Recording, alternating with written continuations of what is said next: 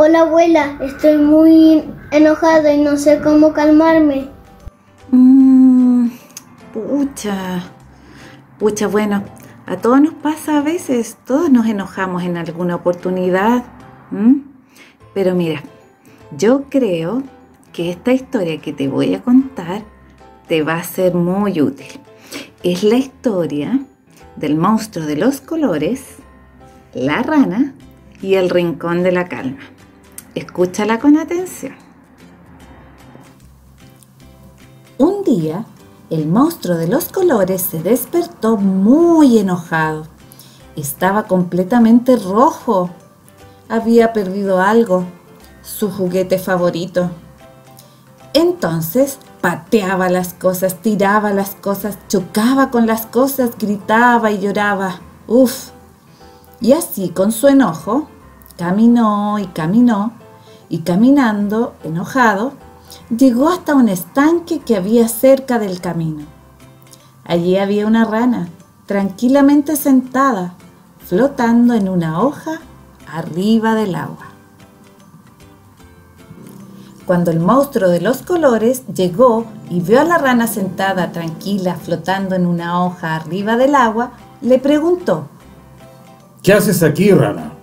Solo estoy aquí sentada en mi estado de calma, le dijo la rana. ¿La calma? ¡Ja! dijo enojado el monstruo. Mm, tú deberías hacer lo mismo, dijo la rana. Es muy placentero estar en calma.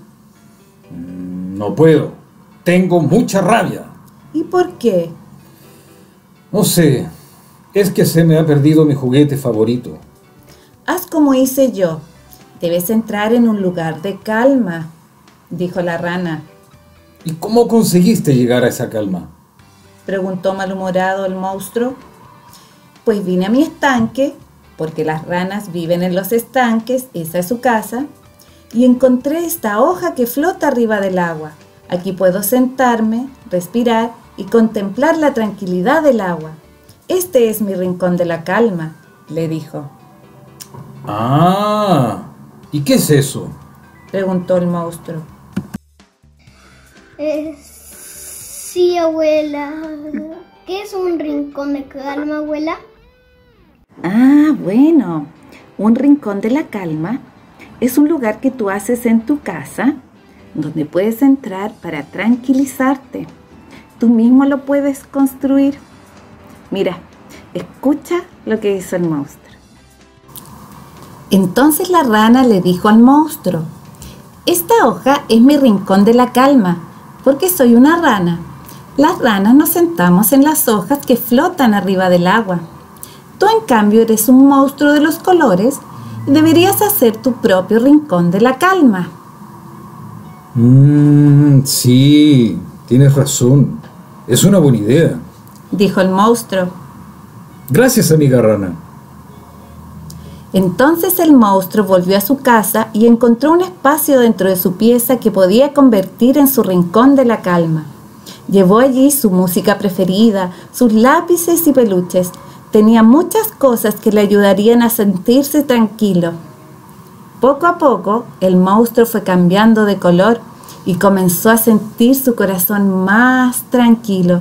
Ya estaba de un brillante color verde como su amiga rana se sentía en calma. Así, el monstruo de los colores logró manejar su emoción y alcanzar la calma. Cada vez que se sintiera enojado o asustado, iría a su rincón de calma. Ya estaba listo para volver a jugar. ¡Oh, qué bueno, abuela! ¡Qué gran idea!